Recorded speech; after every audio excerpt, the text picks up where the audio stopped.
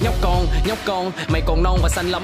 Giờ lại thích tự vả mặt bên hay thích đưa mặt cho anh đấm Trình độ mày hàng chắc hàng chấu, ngựa hấu đá nhưng vẫn còn non. Ngày anh đặt chân lên sàn đấu là ngày mày còn ngậm kẹo bòn bon. Da mày đen, gặp thêm tao là số mày đen. Đây đâu phải là ba đồ rap là mày cầu xin được bố mày khen. Thịt bò này người ta khen ngon nè, giờ đến lượt của ba khen con nè. Ba với rap yêu nhau 10 năm mà sao con mãi vẫn là fan John? Mày thích rap mày tá là hế và trình độ mày khá là phế. Gái Nhật đó nhìn thấy là mê chứ nhìn mặt mày ưu thấy mà ghê. Úi trời đất ơi rapper bắt trend rapper gì mà hề hế hề hề. Úi trời ơi rapper bắt xe rapper về nhà quê quê quê quê. Vậy mà học mày bá kim chỉ để giữ lại cho mình chút liêm sĩ Chứ để anh múa võ như phim Mỹ là mày chỉ có nằm im trên rỉ Mà anh đã thắng mấy giải rồi nhỉ? Thôi anh đâu có thích ba hoa Chắc làm chi mấy thằng loại sĩ chờ anh sai lầm để hít drama.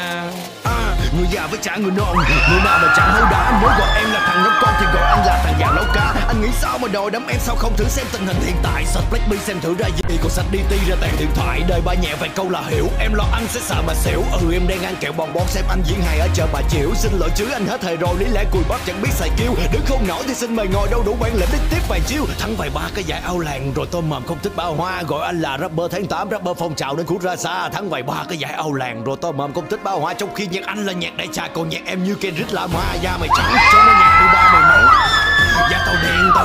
ba tao khen, Mày muốn võ như phim Mỹ, nhưng đáng tiếc là phim Mỹ Nam. Dùng kim chỉ mày mỏ mày lại vì kim chỉ tao là kim chỉ Nam.